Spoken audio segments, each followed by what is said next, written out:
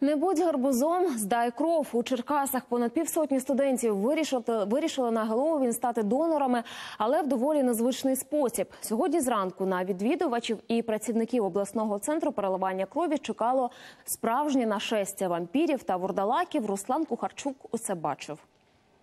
Крісло вампіра, гарбузи, свічки та моторошні персонажі. І все це у холі обласного центру переливання крові. Студенти черкаських вишів просто на очах у здивованих відвідувачів і медиків перетворюються на містичних істот. Це звичайна гуаш, тобто для аквагриму. Того, ну якщо не буду чіпати, до вечора ще й на танці можна сходити. Цей перформанс організували молоді активісти, аби заохотити до донорства своїх однолітків. Прийти на акцію у день Геловіна студентів закликали протягом останнього тижня. І як виявилось, недаремно здати кров вирішили понад 50 молодих людей. Ми вважаємо, що дуже важливо як мінімум долучитися до цього руху. Ми назвали її вампіріадою, оскільки поєднання да, тобто і вампіри п'ють кров, і донори теж здають кров. Більшість учасників акції кров здають вперше. Перед процедурою зізнається Вікторія трохи нервувала. Та зараз каже, не все так страшно. У дівчини візьмуть 450 мл. Це допустима норма зараз.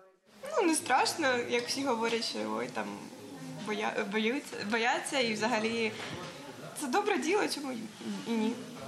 Вона допомагає іншим людям, тому вона доволі таки потрібна.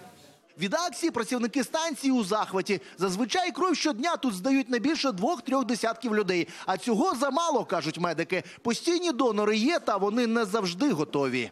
Практично кожен день ми викликаємо донорів, тому що крові не вистачає. У нас є велика е, потреба у донорів на концентрат тромбоцитів, тому що це клітини крові, які потрібні для важких хворих, для онкохворих в основному.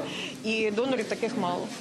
На станції сподіваються, що після акції донорів стане більше. Принаймні, деякі учасники вже зголосилися здавати кров на постійній основі. Станіслав Кухарчук, Павло Тимошенко. Подробиці телеканал Інтер. Черкаси.